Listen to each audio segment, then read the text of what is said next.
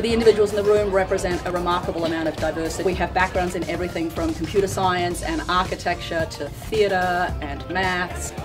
We're the first in the world to be creating a master's program for AI when it gets to scale. This is our orientation week for our students and we wanted the world to see them at the beginning of this program because by the end of it they will be very different people.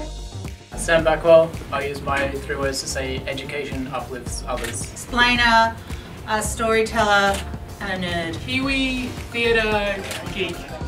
So I think it's just wonderful that Australia is leading the world in this category. We've got a great opportunity in the future to really have a new take on what AI means in the business sector.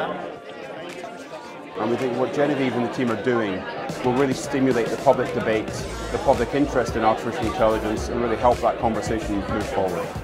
AI technologies are going to play a vital role in the industries that we manage and invest in, industries like energy, transport, real infrastructure, agriculture. To understand what impact that's going to have is really critical to us. We're here to celebrate 16 new students kicking off the first year of a brand new master's program here at the 3A Institute. But really what we're celebrating is building the future.